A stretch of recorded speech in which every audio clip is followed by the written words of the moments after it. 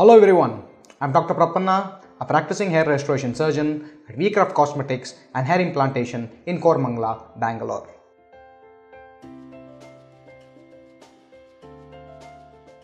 Mesotherapy is a non-invasive and non-surgical cosmetic hair restoration procedure which has been steadily gaining in popularity. Superficial microinjections are inserted just below the epidermal layer of the skin into the appropriate tissues to stimulate the mesoderm layer in the skin which lies at the depth of about 1 mm beneath the surface in order to encourage the hair's natural regeneration and proliferation process. The technology at the root of the treatment is based on the understanding that most hair loss problems are a result of lack of proper nutrients, reduced blood circulation to the scalp, and hormone imbalances around the hair follicle, in particularly an excess production of the hair loss androgen DHT. For hair restoration treatments, mesotherapy solution injected into the scalp contains a special combination of specific chemicals, minerals, amino acids, vitamins, nucleic acids, and coenzymes specifically tailored according to the patient's unique requirements. The treatment restores hormone balance